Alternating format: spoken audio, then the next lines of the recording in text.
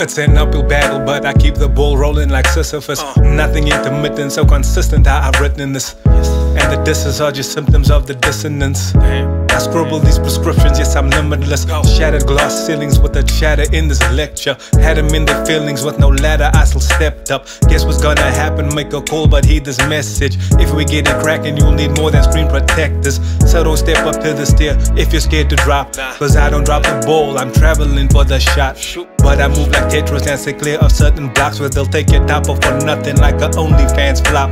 I'm dope with it. Building brick by brick the hard way. I'm Patrick when I'm at it. Come listen to what the stars say. And I ain't moving bricks, but if I wasn't of the wrong way, I might split a couple up like Ariana Grande. Whoa.